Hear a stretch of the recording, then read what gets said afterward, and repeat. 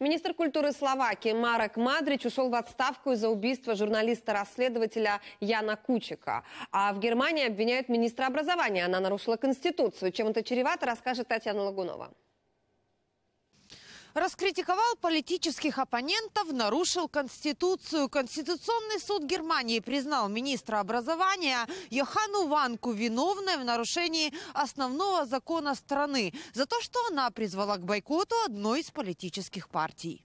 Инцидент, который рассматривал Конституционный суд, произошел два года назад. Тогда, в разгар миграционного кризиса, ультраправая партия «Альтернатива для Германии» звала немцев на митинги против Ангелы Меркель, требуя показать канцлеру, которая пустила в страну тысячи беженцев, красную карточку. Министр образования на сайте своего ведомства ответила на этот призыв. Дескать, красную карточку нужно показать ультраправым, которые радикализируют общество. Не имела права постановить постановил Конституционный суд. Представители государственной власти в политической борьбе должны соблюдать нейтралитет и не высказываться как в интересах, так и в ущерб каким-либо партиям. Свое решение судьи объяснили так. У министров, в отличие от других политиков, есть государственные ресурсы, и они не имеют права использовать их для влияния на настроение в обществе.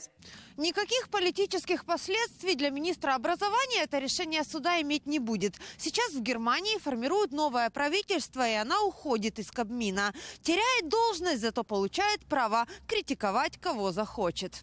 Татьяна Лагунова, Геннадий Никеенко. Подробности немецкое бюро телеканала «Интер».